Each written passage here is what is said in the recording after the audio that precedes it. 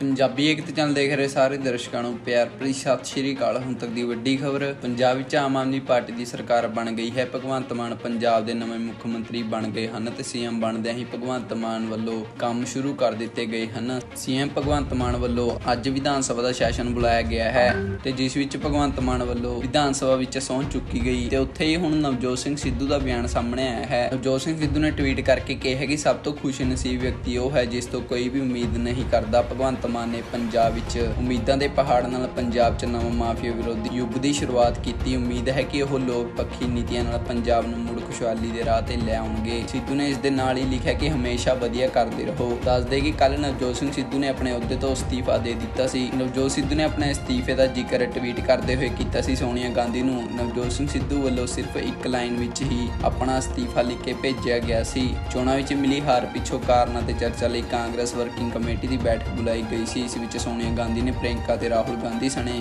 ਆਪਣੇ ਅਹੁਦੇ ਛੱਡਣ ਦੀ ਪੇਸ਼ਕਸ਼ ਕੀਤੀ, ਪਰ ਫਿਲਹਾਲ ਪਾਰਟੀ ਨੇਤਾਵਾਂ ਨੇ ਇਸ ਪੇਸ਼ਕਸ਼ ਨੂੰ ਖਾਰਜ ਕਰ ਦਿੱਤਾ ਹੈ। ਸੋ ਇਸ ਹੁਣ ਤੱਕ ਦੀ ਵੱਡੀ ਖਬਰ, ਹੋਰ ਖਬਰਾਂ ਦੇਖਣ ਲਈ ਸਾਡੇ ਚੈਨਲ ਨਾਲ ਬਣੇ ਰਹੋ। ਧੰਨਵਾਦ।